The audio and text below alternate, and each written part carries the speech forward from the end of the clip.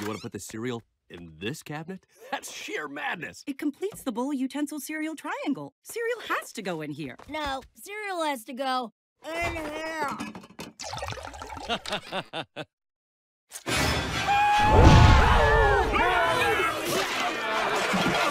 Leave the boxes! Leave the cereal! Leave everything! Leave yourselves! Bring yourselves! Leave everything else! Ah, oh, boy. Whoa, whoa,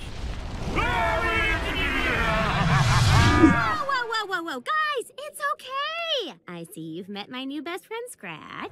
It has a name! Out of the way, Molly! We're leaving this house and we are never coming back! We got the cereal, right? No, no, no, no, no, no, Dad. You can't leave our forever home just because it comes with a ghost. Besides, Scratch doesn't mean to be scary. He's just. What are you, you, you hungry? I am not What are you, do you want a snack? I mean, I'd have a bite of something, but it doesn't mean I'm hangry. Granola bar? Not if it's carob.